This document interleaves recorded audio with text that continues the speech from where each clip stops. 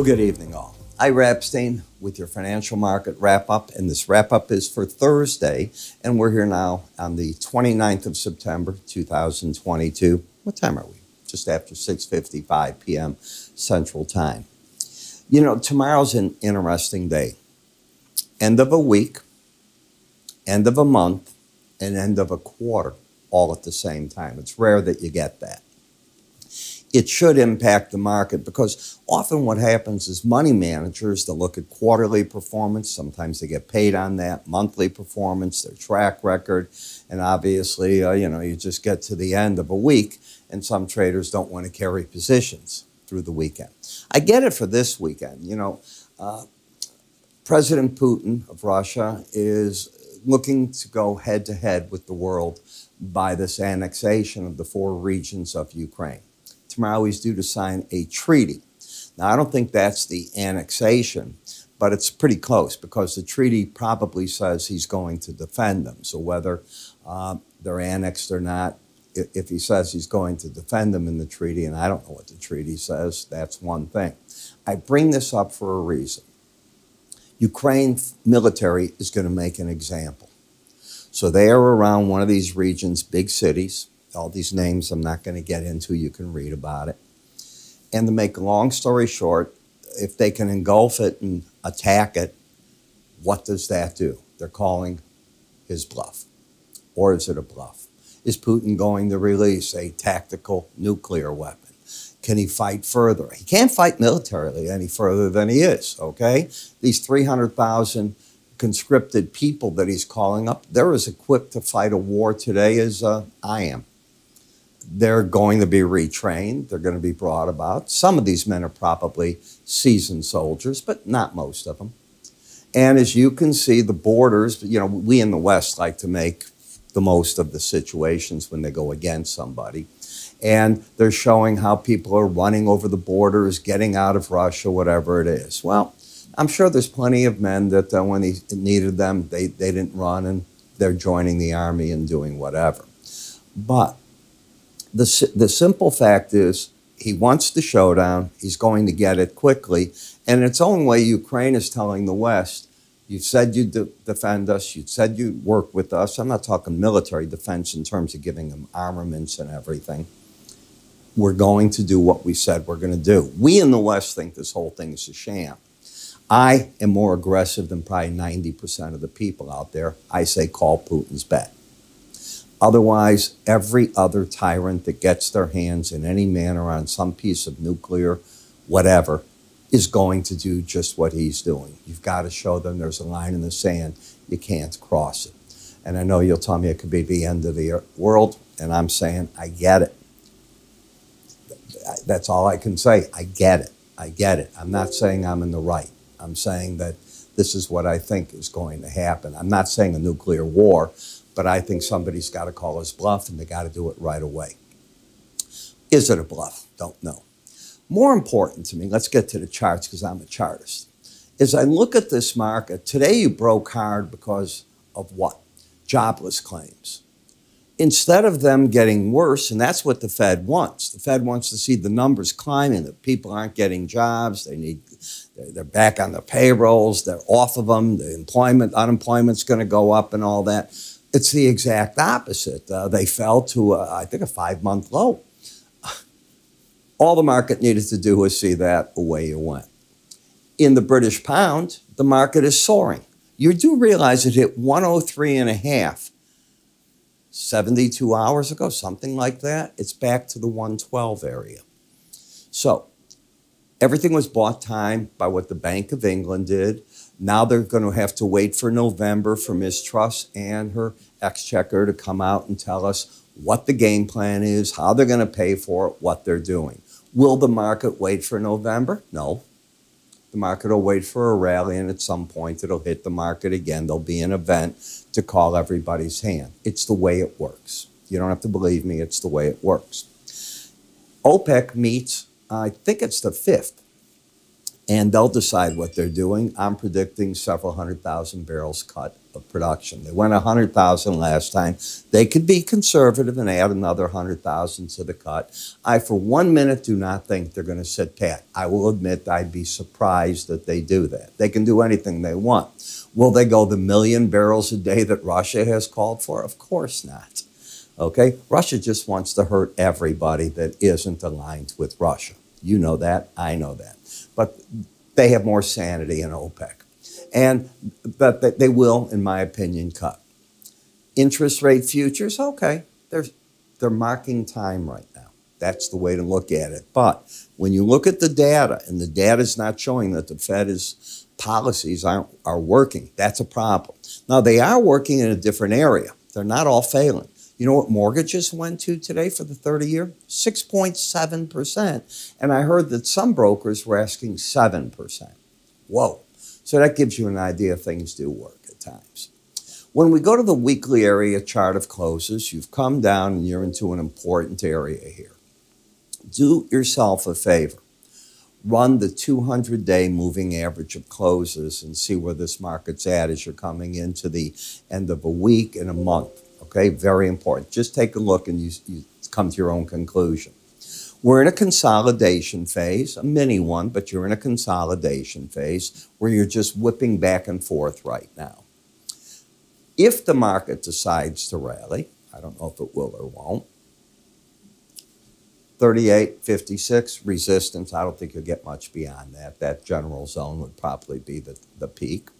The market has stepped away from the right, uh, from number one, it stepped away from staying under the Bollinger Band, and that's what I was looking for.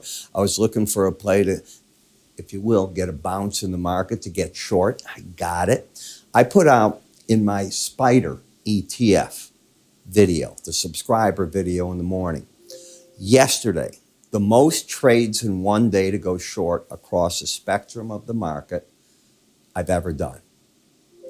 Today, across the board, I had everybody cover on the big break this morning. Half of those positions to get on the market's money, and now whatever happens, we're in a good defensive position. And they, if they followed, they did it. I also told people, I said, these are so many, you got to, I don't know if you should take all of them or what to do. And can I be honest? I cut back. I could have gone another third more. And I cover 40 some odd charts. It was a heck of a lot of setups there. What about embedded reading. Until this is lost, you know which camp I'm in. It tells me that the rallies, they're bear market rallies that should be sold, and the pros will do so. They'll bail if the red line closes over 21, it's at 9.65. NASDAQ, similar program. Not as, uh, not as nice a chart as the S&P for a bounce, but it's the same thing until you lose the embedded reading. Good rallies, I think the pros are going to sell. What about the micro mini? Same thing. I don't see any difference. What about the Russell? Same thing. So I see nothing that has changed. Again, I am of the school because I created the course and I have a school that teaches it that momentum in most cases will lead price. I'm of the school that doesn't like to go through major reports. I'm of the school that likes to follow the trend. Pretty simple. When we come to the VIX, it's calling it up right now, get you a current quote on it. There you are. Do, how long do you stay over Bollinger Bands? 5% of the time, up or downside. Okay. I count each one of the days over it as taking away one of those percentage points when they're consecutive. So I was giving myself that this was the area it was going to fail from. I got lucky. It did exactly what I teach, and I was happy. Now, I don't want to be short bonds and notes right now. Why? Okay, let's go back to the idea of momentum.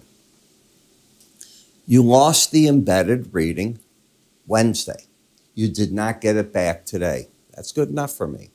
I think this market now is trying to say it, if there's a surprise, I expect it to be that the market gets a rally. The market is now oversold. When you lose an embedded reading, you go to an oversold condition and then you can go to neutral. You can also go oversold back and embed. Do you have to get up to the 18 day average of closes? You don't have to do a darn thing. often that's the target if the rally's going to have momentum. But it's a reason to not be short. That it is. And to me, that's everything. Same thing happened in the 10 year note. So if we can get that rally, fine. Am I looking to be a buyer? No, because my other rules say I don't want to be a buyer under the 18 day average of closes because the bias of the market is clearly down. In the dollar index, you lost the bullish embedded reading. So as you're coming down here, I'm getting a target now of the 110.67 level. So I look at that. Is there a reason for me to be short? No, none at all. But you, you went from embedded to overbought. And how do you correct an overbought market? Prices drift lower typically. In the euro currency market, correcting an oversold condition might make a run to the 99.55 level, back to parity for all purposes. Okay, I don't see a reason to be short that market anymore. The British pound. What did I tell you here when you lost the embedded reading? Let me show you this because so often if you learn to work with this, away you go. And I realize that for many of you, my slow stochastic numbers don't match yours. If you're a paid subscriber of mine, write me. I, rep, I, I Epstein at linllc.com. You have it anyways because you're a subscriber. You get messages from me. And I'll send you the formula changes you have to make. It's that simple. The rest of you know I'm not going to tell you what it is subscribe, support the channel here. That, that's, you know, it takes a lot of work to do these. This is not a little bitty operation I have. All right. So as I look at the market, you lose the embedded reading. I'm looking for a rally potentially back to the 18-day average of closes. I feel darn good. And there were reasons then not to be short. Bitcoin's nothing. Now I've moved to the October. Tomorrow's the last trading day in the SEP. It's just going sideways. Don't know what to do with sideways action. In Brent versus WTI, well, obviously the $7 area got a little expensive. Will the market break through that low? Don't know, but if it does, you've lost this uptrend that it's had. What do I think going into OPEC? I'd rather own Brent than I would WTI, right? Because the U.S. wants to produce as much as we can within the constraints of the Biden administration's terrible energy policy. I couldn't wait to say that and OPEC, who can just say, no, we're going to cut more production now. Who's going to cut it? It's not the countries that aren't meeting the quota. It's going to be those that can meet it, and we'll see what happens. Are they going to hurt themselves in the cut? No, they want to support prices. That's what they want to do. When you get to the Brent crude, you're at the resistance area. You came off the lower Bollinger Band back to what I call that line in the sand, fighting the battle there. Same in WTI. This stuff, some of this just starts making sense if you follow me. And that's the advantage of my morning videos. I'm drilling this in you. I'm teaching as we're setting up actual trades, and I'm telling you right in those videos buy here, sell there, go at the market, do this, do that, or I don't want you to do anything. And that's where we're at. So, when talking this all through, one of the things I like to do is talk about this. You know, it's $7.95 for 24 videos for 30 days. What do you have to lose? If you think about it, you go to Starbucks, you get one of the large drinks, you give the kid a buck, you're at that price, you're getting 24 videos. You're not getting your Starbucks fix every day, you're getting my fix to you.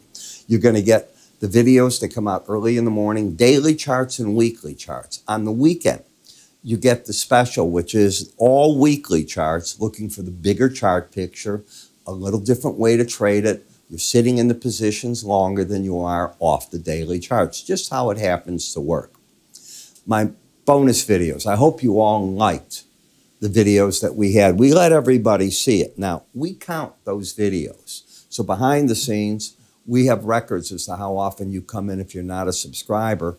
And after a certain amount, you have to pay to watch them. They're free always with my subscriptions. So I hope you liked what you saw because it was pretty much a great report.